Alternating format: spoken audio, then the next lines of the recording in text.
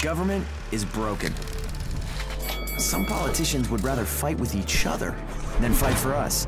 And the issues we care about most, like Social Security, Medicare, and prescription drug costs, are on the line.